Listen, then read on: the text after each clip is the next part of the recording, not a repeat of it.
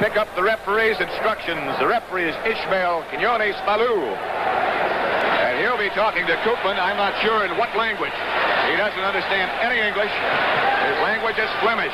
Now Muhammad Ali looking over. He went over and took a strange look at Coopman just a minute ago. He can't believe that he can't sight this guy because he can't understand him. All Coopman did all week was smile at everybody, including Muhammad Ali. He also winked at him. Let's pick up the instructions now. Don't miss the Bulldog days. Quinones Falu is the referee. From San Juan. Let's see if we can hear. The other goes faster. You see, they are going 8 or 10. This is eight, not good. I don't know. They show that. Not shot anything. So, uh, it's gate 3 not down. See, it's gate 3 not down. You must say, it's right, let's say. Okay? Okay. The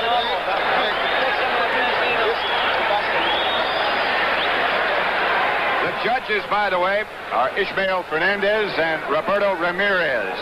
The referee and both judges are from San Juan. And the knockdown rule automatically is waived. You just got to keep getting back up as long as uh, the challenger or the champion feels it's right. And you can't be saved by the bell. Don King just came by and said, give him a great show, guys. We'll try. Round one. Ali with the hands very high. Coopman's supposed to be a guy that moves in fast. The jab by Ali. The fastest. But look out for the short right hand. That's the fastest punch of any heavyweight of all time. But Ali Garrison. Ooh, a head combination the left hand guard. Coopman at 206 pounds. Built more like a linebacker. Ooh, a straight right hand by Ali. Pops right on the cheek. A flurry on Coopman. Ali gave him a little roll with the hips. There's that jab. That's two jabs. Coopman's Three. face is already red.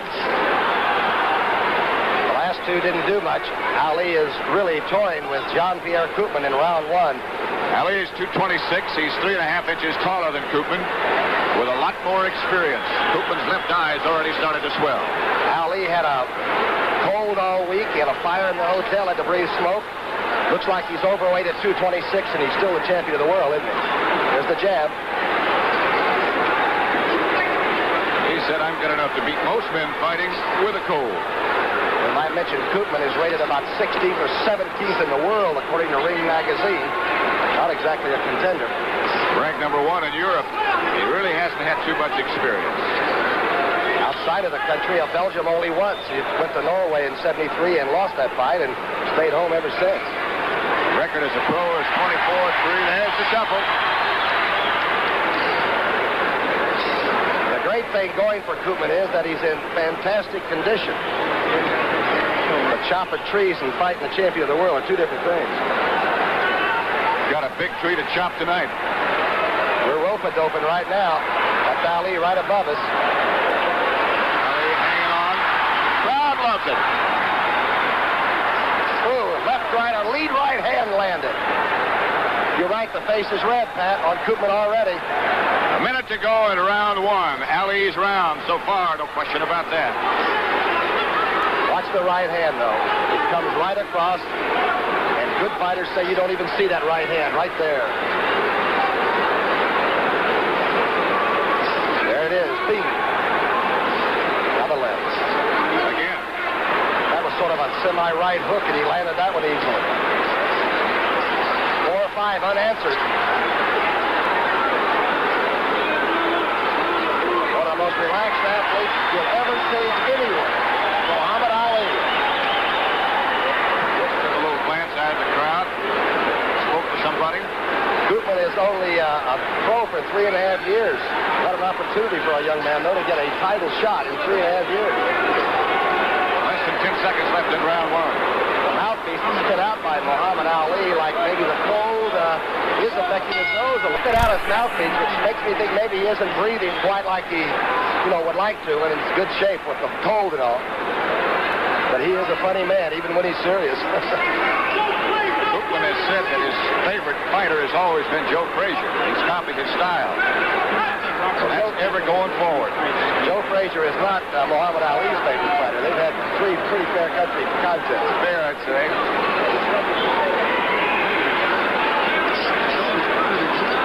Never the thought that Ali fights only in one minute first. Sort of been picking his shots as to what he wants to do uh, all three minutes in the first round and a half.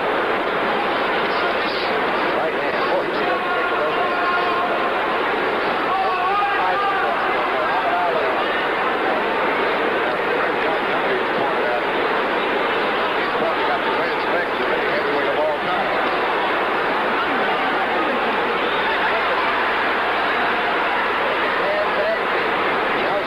someone in the crowd behind his corner a little bit. The uppercut, three left hooks in a row, coming under a little bit. Ooh!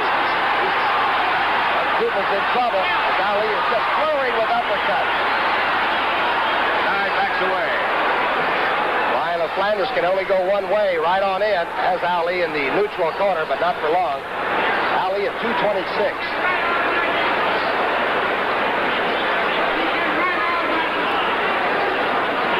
Coopman in long red trousers. They're down almost to his knees. And right now, a very red face. 112 left in round two. There's a cut left eye of Coopman. Look at the jab, Pat. And then the fake of the bolo under. He is just toying with him right now. He gave him about three double fakes and didn't throw a punch. Only two losses for Ali. 49 and 2 he is. A loss to Norton and, of course, a loss to Frazier. And he got back and revenged both.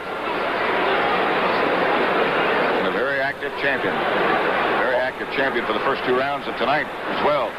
Now he's just holding the gloves down. Ooh, that jab comes out of the off the hip almost. Ali just toying with Coopman.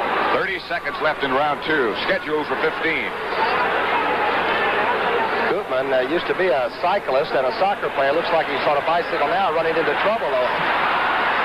The uppercuts, Coopman covers up pretty well. Supposed to have a fair left hook.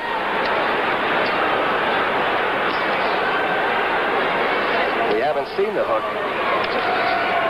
Ali's catching those with his open palms. He got one through a little bit. trouble with some of his sparring partners, and he's had with uh, Jean-Pierre Coopman, the Lion of Flanders, who may leave here as the pussycat of Ponce Playa Beach. Uh, so far, I don't think he's hit Muhammad Ali. All right, uh, we're back into round three now. Ali just went out and sort of leaned on the fellow from Belgium, the Lion of Flanders. Attempted to repair the damage to Coopman's left eye, but a little work on that, and it might be closed. Cut on the lower portion of the left eye. Ali now just holding him up and wrapping up the 206-pounder like he's a baby boy. He has a five-inch reach advantage, along with every other advantage that he has. 20 pounds, four inches, three and a half inches in height. And right now, he's just dancing. Think how frustrating it must be, though, for a young professional to be in there trying to do his best, and Ali is right now going for a walk in the park. There's the right hand lead. Not much on it, only because he didn't want to put anything on it. A sellout crowd at Roberto Clemente Coliseum getting a little impatient now with the champion because he's not pressing things a little bit more. Boy, watch it when he gets on that toe, though, and throws that the left jab or throws that quick right hand. It is a very quickly loaded punch.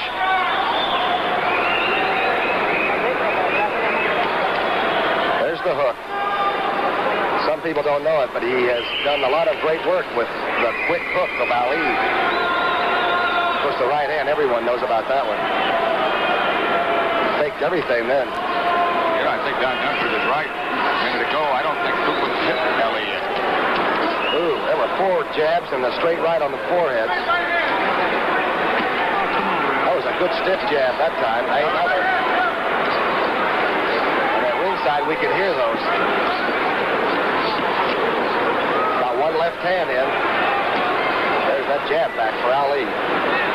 Coopman trying to cover, trying to move in. That's the only thing he knows. Minute to go. The third round. Scheduled 15, but it doesn't look like it'll that long. Jab just keeps you at bay. Now the fake of the right hand, and he turns back.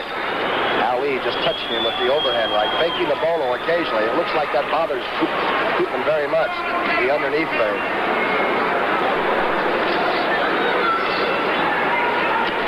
There's the jab.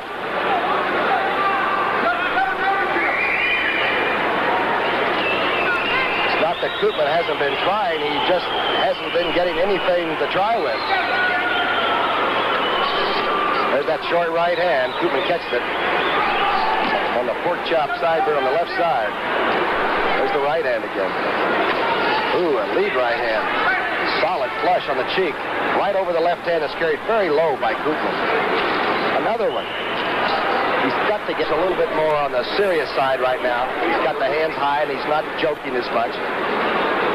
The left jab that he threw out this time was behind the good boxing stance with the right hand covered. Boy, that's four straight jabs. Coopman again has only la- landed perhaps one punch in the first three. And of no value. Ali faking the hook. The left hand still being carried low by Coopman. The right hand will come right over by Muhammad Ali.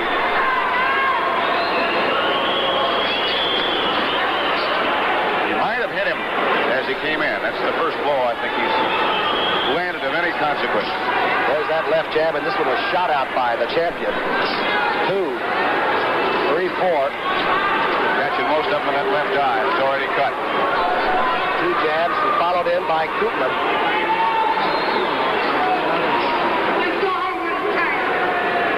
Ali measuring. Coopman no longer coming straight on. Ooh, the left hook with the straight right hand by Ali. That was blocked. The jab made it. The right hand makes it two right hands. The left eye is beginning to close on the challenger now as he rallies and throws a combination.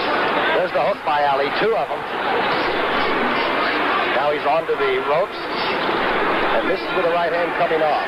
Ali. Coopman said before the fight, I really don't know how good I am. He's finding out. What a way to learn on-the-job training with the heavyweight champion. Perhaps one of the greatest boxer fighters of all time. Ali picking his spots now, and Coopman's face is beat red. Even as Ali withdraws, he manages to land three or four unanswered blows. The hook was partially blocked. Hungry with the hook, the straight jab. Boy, he's quick. Is he? Minute to go in round four. Left and the right. Takes a couple, one around the heart, the right hand, not much on it by Cooper. Jab was blocked. Ooh. The left hook by Ali. He just pulls the trigger so easily. And when he turns it over that way, he can drill you with it. There's a short right hand. Not much on him yet.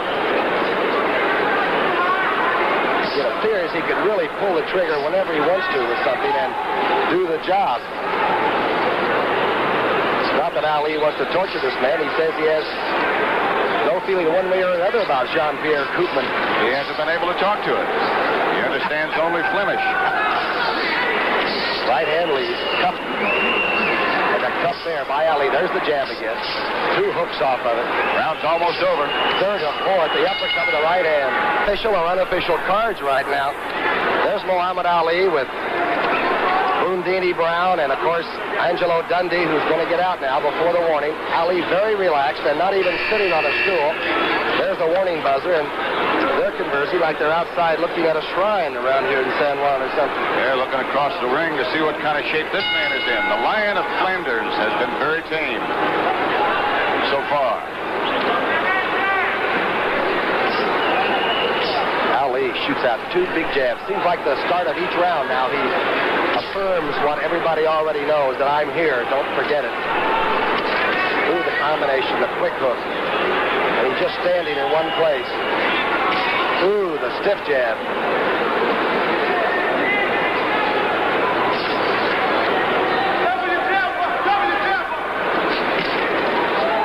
Couple of body blows as Ali moved back. Now he's dancing a little bit, up on the toes for the first time. There's the jab. Now you're going to see something. Two, three, Ali had indicated to us a minutes before the fight that this was the round that he expected to be all over. Number five. So far, he's just dancing. Ali at 226. But carrying it pretty well right now.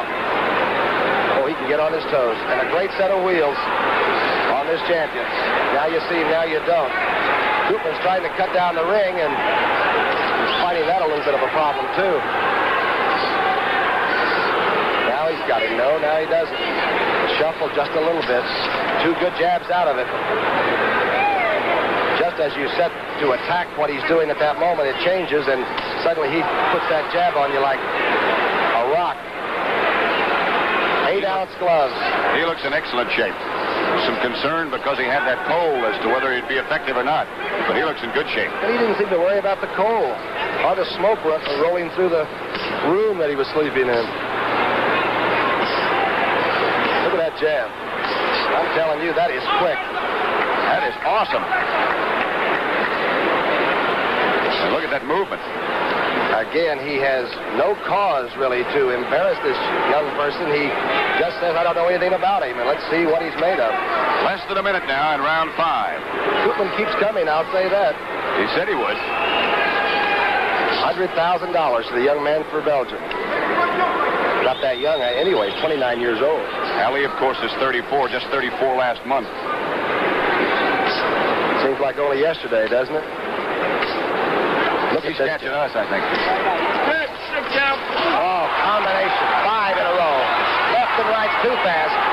Coopman is down. Coopman is down. Holding that left eye.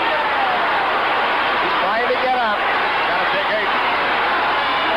He's in good condition. That's all. It's all over. That's all of it.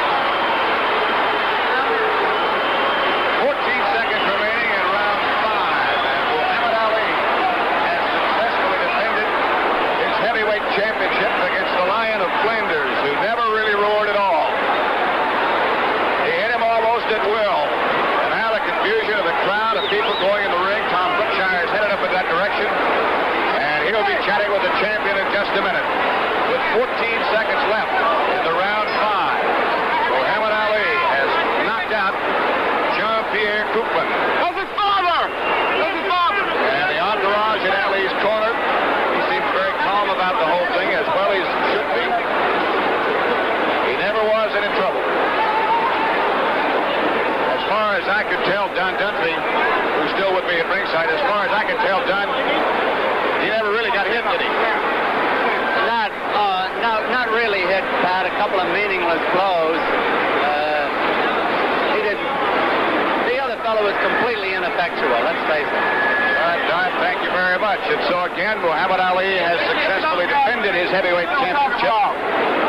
Knockout of the fifth. Right now, but you did get the 36th KO. What about it, and was it that easy? First of all, it wouldn't be right not to thank Almighty God, Allah, for my victory. I want to say Assalamu alaikum to all Muslims in America, mainly to the Chief Minister, the Honorable Wallace D. Muhammad, and my children, my wife, and all my fans, and also my man, Mr. Tom Jordan, great disc jockey in Dallas, Texas. But the fight itself, it was a tough fight.